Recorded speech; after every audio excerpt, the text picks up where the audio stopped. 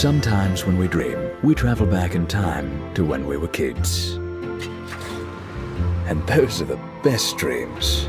Imagine how happy we would be if we could relive all those moments.